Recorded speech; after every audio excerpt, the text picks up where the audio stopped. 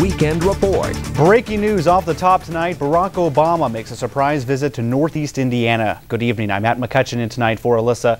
The Democratic presidential candidate and his running mate Joe Biden are in Hamilton right now. Now that is on the southern tip of Steuben County, just about 20 minutes southeast from Angola.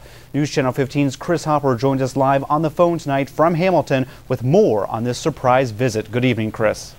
Good evening, Matt. Well, Barack Obama and Joe Biden just arrived here in Hamilton a few minutes ago at the Pier 32 restaurant. It's really been a chaotic scene as the two are walking throughout this small group. I would say it's probably about 150 people here, no more than that. They're walking through, greeting people, saying hi. Everybody is extremely excited. Many people were very surprised that the two had shown up. I'm actually right now about two feet away from Barack Obama and Joe Biden as they make their way through the crowd here at Pier 32. Now, the two are t- uh, making a stop here on their way to Battle Creek, Michigan. It's all part of a bus tour. They actually stopped in Toledo, Ohio a little while, or excuse me, a little earlier today. Uh, they're just going around greeting people, saying hello.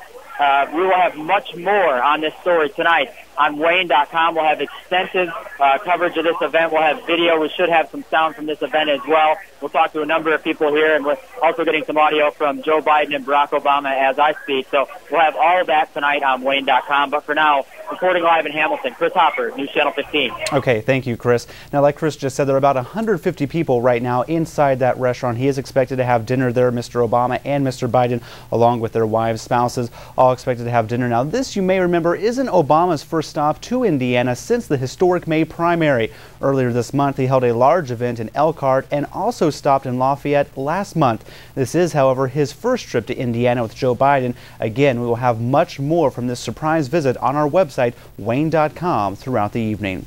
We can also hear more from Senators Obama and Biden tonight, right here on 60 Minutes. The running mates sat down with Steve Kroft during a trip to Pittsburgh on Friday. You can see that interview on News Channel 15 coming up at 7 o'clock.